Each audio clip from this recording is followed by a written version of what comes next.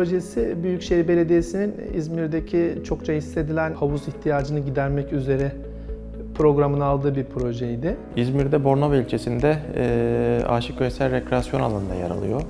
E, burası büyük bir yeşil alan. Proje ihalesi oldu. Biz de girip kazanan ekip olduk. Yarı olimpik bir havuz var içerisinde.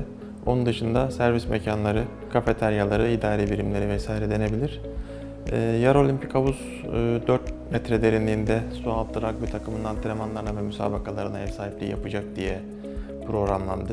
Bir yüzme hissi, suyun verdiği ferahlık, işte yansımalar, ışık. Bunu nasıl yapabiliriz? Buradan yola çıkarak farklı bir bina kurgulayabilir miyizin peşine düştük. İçinde zemin katında bir lobisi, ufak kafeteryası, e, gerisinde dediğim gibi e, yüzme havuzu var. Yaklaşık 100 metre cephesi olan e, yatık bir bina. Yani en boy oranı anlamında iki katlı.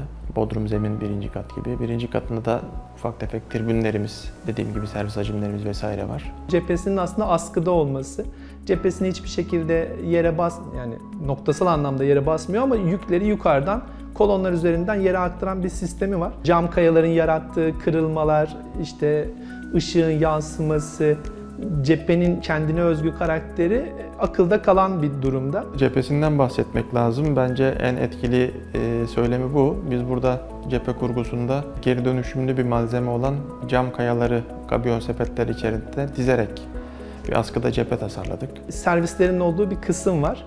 Biz bu kısmı da bu cam kaya malzemenin e, kabalığına diyeyim ya da işte ölçülemez, biçilemez oluşuna e, bir tezat gibi böyle çok net, kesin hatları olan bir kütle olarak e, kurgulamıştık. Aslında Sinterflex'in bu yapıda kullanılmasının nedeni o.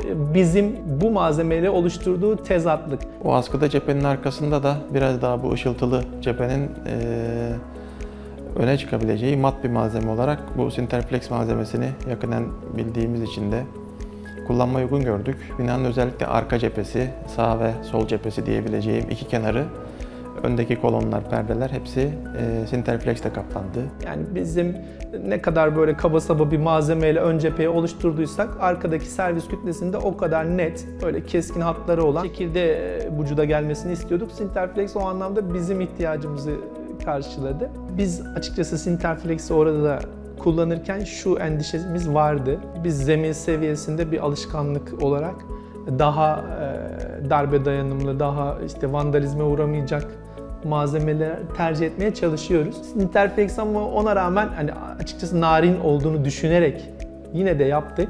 Ama o günden bugüne geldiğimizde ben de fırsat buldukça etrafında dolaşıyorum içine girmesem bile. E, o anlamda bir sorun yaşatmadı. Koyu griye yakın bir e, seçeneği değerlendirdik. Mat yüzeyini önemsiyoruz. E, büyük ebatlarını önemsiyoruz. Ders aralıklarının, Hatta o kolonlardaki köşe birleşimlerdeki malzemenin ince olmasından kaynaklı ciddi avantajları önemsiyoruz. Biz bu cam kaya yani bu fikri tamamına da yayabilirdik ama kendi mimari yaklaşımımız diyeyim hani her yerde hep aynı şeyi yapmayı mümkün kılmıyor. Hep önden bahsediyoruz ister istemez. Binanın hem güney hem giriş cephesi hem de o buz paten pistinde asıl yaya trafiğinin, yaya doğuran bölgenin oluştuğu bölge güney cephesi.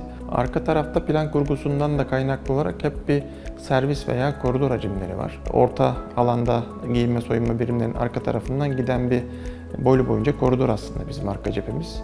Bir tane de dediğim gibi bir jimnastik salonumuz var. Orada daha mütevazi, daha mat, işte ön cepheyi çok fazla hiyerarşik olarak rahatsız etmeyecek bir malzeme için aslında bu Sinterflex gündeme geldi.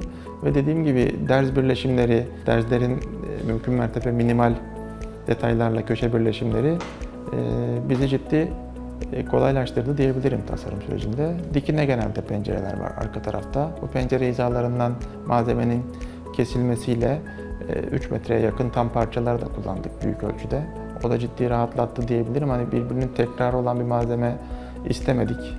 Mat yüzeyi, homojen yüzeyi. Hani tekrar olmaması anlamında yeterince geriden baktığımızda neredeyse dersiz bir mat yüzey görebiliyorsunuz. Maksimum boyutlarında kullanmadık. Biz daha ziyade aklımızda bir modülasyon vardı. Kolonların tamamı çatıya kadar kaplandı. Dört tarafı kaplandı. Kolonların herhangi bir şeye teması yok yani cama doğramaya vesaire. O yüzden de dediğim gibi normal konvansiyonel sistemlerdeki seramik birleşimlerine göre hani 45 kesmeye vesaire derler. O tarz doğal taş birleşimlerine göre ciddi avantaj. Mekanik montaj olduğu için de ciddi şarkülünde, terazisinde vesaire uygulama avantajları var. Kompozit vesaire malzemeye göre de çok daha mat, çok daha doğal görünüyor. Bizim için önemli olan oydu.